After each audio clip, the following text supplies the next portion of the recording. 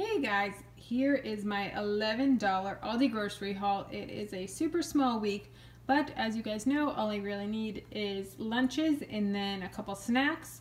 So I got some rotini. I'm actually going to be doing a recipe video of this rotini and chicken bake. I have chicken de thong right now that I had from my freezer that I'm going to bake up and put together casserole. I'm thinking I'm going to do a video on it, so stay tuned to that in the next couple weeks.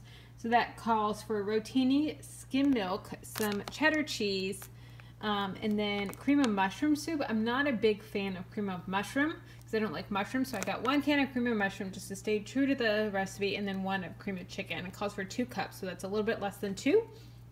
Then for snacks, I got my pepper, pepper jack cheese as always. I love this stuff and it is so delicious.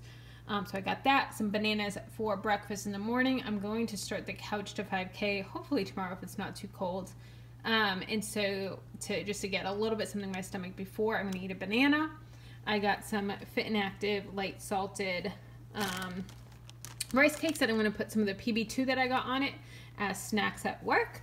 Um, and then, as you guys know, I got this in my, um, for Christmas. I showed it my Christmas, what I got for Christmas haul and I love it. It came with two, but I only needed one this time. And just clips right onto the shopping cart, and it is so convenient. And then it has the handles that you just pull up when you're ready to um, take it out, and they stay stretched out as they're in the cart. They're awesome. So those are a great, great find if you do um, pick some up. So that is my $11 Aldi grocery haul. So let me know what you guys are having for the week and stay tuned for that recipe video.